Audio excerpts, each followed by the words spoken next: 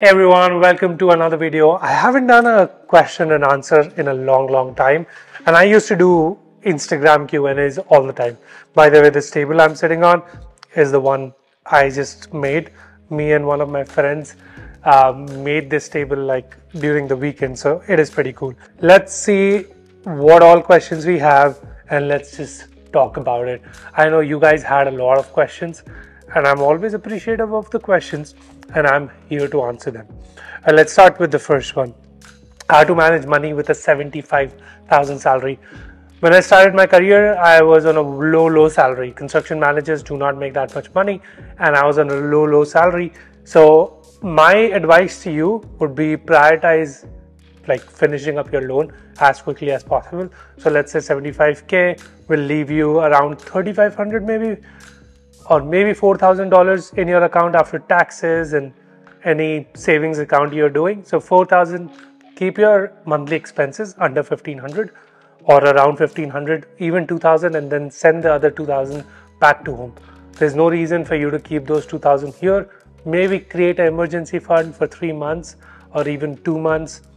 You know, with so many friends of ours around, we don't usually need the emergency fund that much, but in case you do need it, you have it. So after spending on your living expenses, uh, you have 2000 bucks and pay your loan back as quickly as possible. I'm gonna leave a link of a video which I shot recently with a student uh, from Pace University who was making around $60,000 and she was able to pay her loan back within a year. So you should watch that video. Another question How to overcome inferiority complex? Okay, we all face inferiority complex or imposter syndrome at one point of uh, the time or some time other, right? We all face that issue in our lives. I even face inferiority, inferiority complex. Even now, sometimes it's hardly there because I know who I am and what I've done. But it was very common when I was, you know, just graduated or even when I was coming into Purdue because this other person's smarter than me, this person's doing better than me. That imposter syndrome and inferiority complex will always be there, but just remember who you are as a person and just remember how how much hard work you have put in to be where you are right now. When you remember that hard work, I think it makes it much easier for you to subside that complex and like do what you want to do. Is it okay to go with cash only as a person who's flying for the first time? I didn't opt for Forex card. Cash is great. Cash is definitely the king. Cash will work everywhere.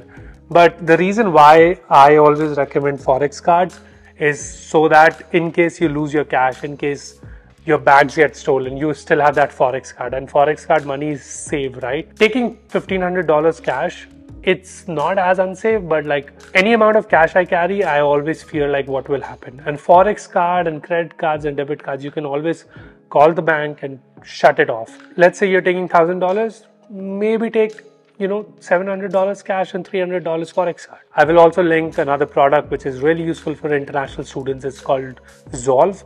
Zolve gives you an access to a bank account even before you go and as soon as you reach to the us they'll give you a credit card check that product out. I think it will be super useful for you and the rates and everything is much cheaper than as compared to others when you're transferring money from India to the US. Uh, another question, how to deal with expensive medical bills in America?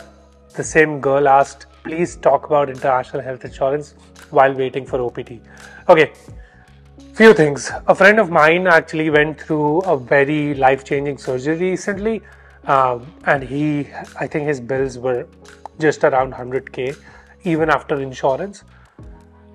American health insurance is messed up. There is a lot of videos. I'm going to leave a couple of videos on how american health insurance works and why it is a scam and how you can save money. But the basic idea is if you are getting a bill do not pay the first bill. Ask them for an itemized bill. If you're going to ask them for an itemized bill they will the bill cost is going to come down then ask them like hey i'm a student. I might not be able to pay back this bill. They might reduce your bill to even more. Now if you are a student and let's say you don't have a social security number and you have a huge bill you can pay it in installments or you can let it go to the collection agency. When it goes to a collection agency, it does hurt your credit score. But if you don't have any credit score, I don't know how it works, but I'm not, I don't think you need to worry about it. Let's say you don't have a credit score and you have now after collections and everything, you have still like a $5,000 bill. Um, you can pay the collection or it will go to another collection agency. This chain keeps going. So hospital, itemized bill, they'll reduce your bill. If you're not able to pay, they might reduce your bill even more. Then it goes to a collection agency where it's encouraged that you do pay that bill because uh, it's a nightmare. My best advice to you is make sure you do all of your checkups before you come to the US. Uh, second thing, get a good insurance. Don't go for this like third party insurances which are just there to like, you know, just so that the minimum requirements of your university gets checked off. Get the university insurance because that will usually cover most of your bills. And try to add dental and vision if you have problems in dental and vision and try saving money. I have a health savings account where I put a lot of my money in, and that way I'm able to have some savings in case some emergency occurs. Gym culture in the US, uh, I have been pretty regular to the gym these days, so um, gym culture is nothing different than it is in India. First of all, nobody's gonna like look down upon you. I think in India, a lot of people are judging you if you're doing something wrong, maybe, or if you're not yeah, if you're not doing something correctly, they will judge you. But like they make these faces, and I don't like the trainers in India. Also, like a lot of old school trainers. I haven't worked out in a gym in India, but here everybody is like really encouraging. They're doing their own stuff mostly, so you really don't have to worry about it. Wipe the machines. That's the biggest thing. That's the gym culture here. Incoming fall student, and I'm feeling overwhelmed and alone. Did you feel the same back then? Yes I did feel overwhelmed for sure. First of all, because you know you're taking such a big loan amount, you are going to feel overwhelmed. There's no question about that. But I have my cousin sister who lives in Chicago, which made it much easier for me to transition to the US. Same goes for my sister. I was there when she came in. So if there's somebody like a relative of yours, it makes things much easier. But if it is, if that's not the case, don't worry about it. Uh, there you're going to find a lot of like like-minded people a lot of people from your own uh, community so you would not feel that out of place feeling overwhelmed about the loan amount makes complete sense i feel that way as well and i felt that as well when i was still paying my loan back when i was working my first priority and only focus was paying the loan back and like, the, like let's say my brain is 100% 10% of my brain was always uh, gone towards like I need to pay this loan back. Every time I'm making a payment, I need to pay this loan back. Now, as a student, you're also overwhelmed by like, hey, what will happen if I don't get a job? Just keep reminding yourself, I need to do what I need to do to be better at what I do, and job will follow. Right? Like if you do everything you're supposed to do, it will be easier. And if you put yourself out there more, it will make life easier for you. Trust me on that. Do you invest? I do invest. Uh, I have invested, I don't know, maybe like $10,000, not that much, but I have a 401k which is through my company, and my company puts in some money. So every month, uh, some amount of my, some percentage of my paycheck goes into 401k, and my company ma- like half matches it. So let's say I'm putting thousand dollars, they'll put $500 every month into my 401k. I can't take that money out. Uh, I have a Robinhood account. I can leave you the link. Uh, I have only invested in like really big tech companies. So Google, Facebook, uh, Tesla would be one, Apple would be one. Really the big ones. And I've invested in some ETF funds. Now, uh, I have invested in some crypto also. Crypto is down right now, but I knew that I'm not going to get that money back. So I just invested it regardless. And I've recently opened a Roth IRA account as well. So you can look into it. I might make a video with somebody who does investing full time and maybe that will help you better. Another question best place for South Indian food in Phoenix. My favorite place in Phoenix for South Indian food is this place called Woodlands. It's in Chandler. If you haven't been to it, you're missing out a lot. I have not had better dosas or idlis or sambar vadas anywhere else than Woodlands. Uh, I don't even know if there's any other place in Phoenix other than that. And even today, I'm gonna go drive to Phoenix after this video is done and everything, and I'm gonna go have dinner there. That's my priority when I go to Phoenix. Another question How do you deal with loneliness? How to stay alone in a home with a remote job? This is a problem, especially for remote jobs, and I've seen it much more common among students who are doing, um, who don't go to the office, do, does work from home. I don't have my wife right now. My, my wife's in Michigan for three months, and I'm alone in this house as of now, right? Um, but just because I go to the office, I meet a lot of people at the office, it makes it easier for me. For you guys who are working from home, I would encourage you to like take part in some kind of club. A friend of mine, um, he works in North Carolina. He's a part of like a football club, and he goes to these clubs after the football game or football match because he's able to hang out with a lot more people. And a lot of companies have encouraged uh, office workers to come twice a week to the office to make it more sociable and to like meet new people as well. So try doing that. If you're in a remote place doing a remote job, honestly move to a different state where you have friends because it can really take over you and I do not recommend it because I've seen so many cases of depression when students are doing remote jobs and they are in remote place just because let's say a lot of your friends are in Austin, go move back to Austin and do the remote job from there. There's no reason for you to be in like Alabama or some remote state uh, for that case. Plus, having a roommate always, always help. When I was doing my full time job in Phoenix, I had a roommate, and um, my roommate used to do remote job. He used to work from home, even though his office was five minutes away. He used to work from home, but he never felt lonely because I was there so having a roommate helps a lot. Is it necessary to get a travel insurance and health insurance for the first few weeks? Travel insurance, yes, I would recommend getting a travel insurance. There was a quote from a video which I was watching about American health insurance scams. Uh, the video said the best insurance you can get is the insurance you never have to use. So remember that get an insurance just in case. It's always just in case. Just in case you get sick at the airport, just in case you get sick at the flight, you would need that insurance. You need that insurance to claim back that money. And health insurance for the first few weeks, if you're getting insurance from your uh, university, your insurance kicks in as soon as you land in the, in the US. And you can check that with your university that is that the case or not. But I believe if you're taking an insurance from any of the universities it will kick in right away. International student financing options on F1 visa with no SSN. If you don't have a SSN, you won't be able to pick up money here. Personal loans are also high interest rates, so I wouldn't recommend personal loans. But if you're an international student, the best option would be second year financing. I'm gonna leave a link up in description for a video. Prodigy Finance is a great option. MPOWER has options. Avanse has options. Uh, these three offer second year loans I know Leap Finance also offers second year loans, but you you can check on that. Those are two three. I think asking for a friend would be a better option, but anything second year is a nightmare for everybody going for fall 23. That's what I tell them that hey, always get approved for a bigger amount than what you would need for your education, just because you don't have to disburse that loan. You can leave that loan as is with the bank.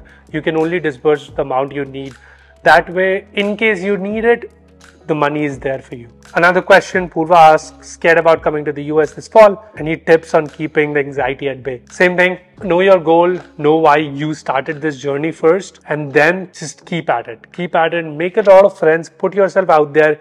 Keeping busy helps.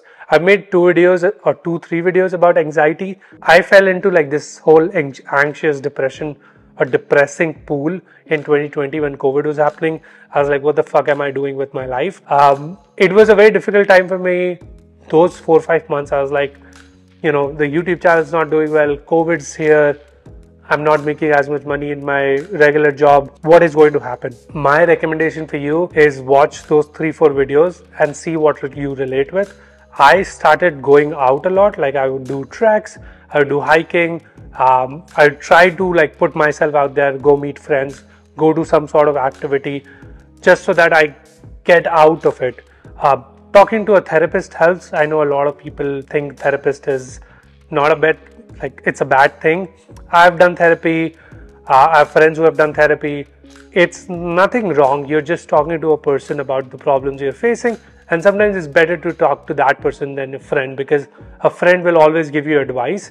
Therapist usually like try finding solutions through your answers. So what you are saying, it, it always helps. Trust me on that, it always helps to try taking therapy if you can. If you are feeling like scared or if you're feeling uh, emotionally drained. And once you come to the US, also, if you're feeling drained, I'm sure universities have a lot of programs where they help students if they're feeling anxious or depressed. Can you talk about transferring university with advisor as a PhD student? It is not impossible to do this, but it is definitely difficult to do it. What happens is when you're coming for a PhD, you are actually not being chosen by the university, you are being chosen by the professor. So if a professor is choosing you, that means they are going to be funding you as well. Taking a transfer is a nightmare. Uh, I've seen friends who have considered it. If you have a good relationship with another professor and you have a word from them, like if they can vouch for you that, yeah, I'm going to give this person funding, go for it. But otherwise, if your advisor is not the one, try considering somebody from the same university first because as soon as you do a transfer from a certain university to another then it becomes a logistical nightmare for immigration as well because you'll have to get your i-20 changed. Once you go back to india you'll have to get another stamp on your passport. So those kind of things hurt. How to stay productive amidst bad mental health you can't stay productive don't beat yourself that hey i need to stay productive what should i be doing it, it will not work like that. The idea of you having a bad mental health and then trying to stay productive, you're making it worse for yourself. Try finding the root cause of the bad mental health first. Try if it's a breakup, if it's a family issue, or if it's some money. Try finding the root cause. Try writing the points which is making you feel that way, and then tackle the productivity part of it. Try taking a couple of weeks off. So um, it's not happening right now but when my wife's here what we usually do is like we work throughout the week. We sometimes i'm working weekends she's working weekends she's a phd scholar. Um, but we always take friday off. That way we are able to take a break. Sometimes students are so much into their education and studies it makes it difficult for them to like take a break. So just make sure you do that is it worth spending 50k on a master's at this point of time? Yes. It's always worth it. 50k is not that big of amount.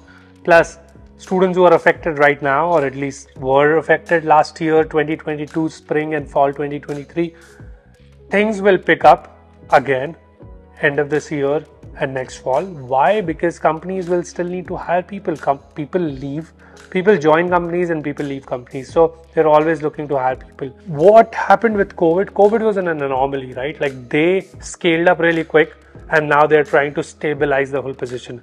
Uh, i'm going to leave a link to a post from nikhil kamath. He posted on instagram on how companies blitzscaled first then fired a lot of people and now they're trying to like maintain that sustained growth. So it's important for you to understand that it's happening and jobs will be there when you're coming next year. But the problem where it comes is that there's so many international students. How do you make yourself stand out? Like that's that's the biggest question. Tell us about your cats. Okay, I will tell about my cats. My cat, one of my cats sitting right here. One of them probably sitting upstairs. But um, we adopted our cats. In one in 2020 or one in 2019 and another one in 2020. Uh, the cats are pretty chill animal. Uh, they do their thing. We have automated most of the things. Their litter gets cleaned and their food gets fed to them, and they have a water fountain as well. Um, so they are very low key human beings, and they are great house pets because first of all you don't have to take them outside for anything any play they watch birds every day we have to take them to vet every year for some kind of um, vaccinations and a regular checkup basically but otherwise, like cats are pretty chill. If you're considering an affordable animal, I would say um, cats are the one. But if you're if you're looking for an animal which gives you the love of a dog, you won't find that in cats. Cats is a different kind of love, and dogs is a different kind of love. It's just two different entities altogether. And that's it. Thank you so much, guys, for watching this video. I hope you liked this one. Um, my hair is still a mess because I didn't take a shower today, but I hope you like this one. Hope a lot of your questions got answered. And until then, I'll see you in the next one. Take care, everyone.